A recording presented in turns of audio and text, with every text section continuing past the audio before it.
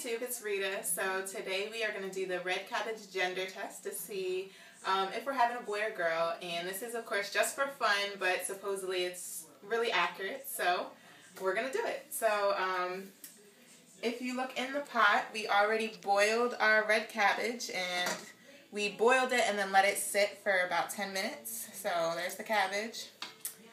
And then if you come over here, we already have our cabbage juice strained, and as you can see, it's like a purpley color um, when it's just the cabbage.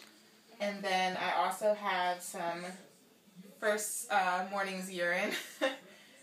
so, according to all the websites and all the other girls on YouTube that have already done it, um, once you add your urine to the cabbage water, if it turns about a pinkish red color, then that predicts a boy. And if it stays a dark purple color like this or a blue color, then it's more likely to be a girl.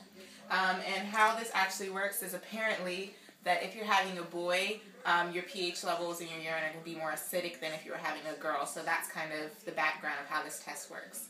So, are you ready, Keith? Yes. All right. So we are going to add urine. You got a good uh, view? Yes. You ready?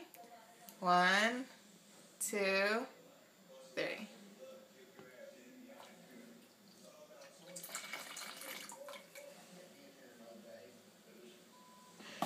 Alright. So, gave it a spin. And what color does that look like, Keith? Greenish blue. Purple. Like a like a bluish purple. yeah. So, according to this test, we are having another girl. Alright, guys. Thanks for watching. Bye.